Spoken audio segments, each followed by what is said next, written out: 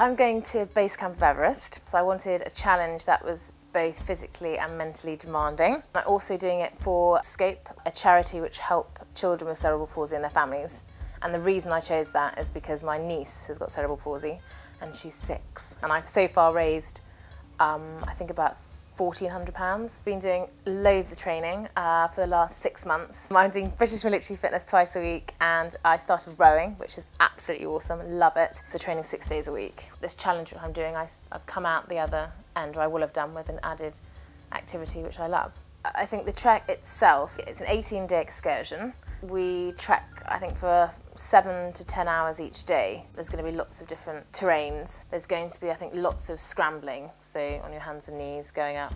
And then we'll get to base camp eventually, which is about uh, five and a half thousand metres. There's going to be snow and it's going to be around minus 20 at night. We sleep in tea houses, which are basically wooden huts, no electricity, just an open fire, but they get seriously cold. We have to take any liquids with us to bed because otherwise they freeze. And we just lie on basically a, wooden uh, platform.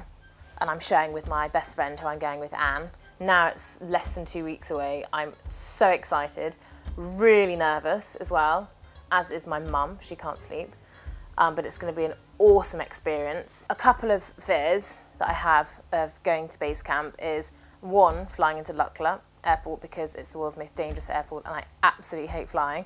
And second is the altitude sickness because you, you just can't train for it. You can suffer with severe headaches, sickness, you go off your food, really bad um, sleeping patterns. It can go from altitude sickness to um, it's basically fluid on the brain.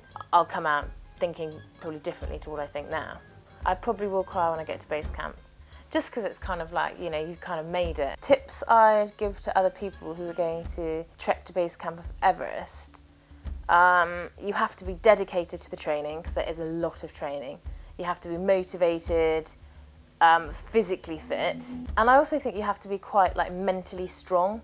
Also, definitely do it for a charity because I think that's really you know, spurs you on, especially when I'm feeling like I can't trek anymore because I'm, you know, so tired.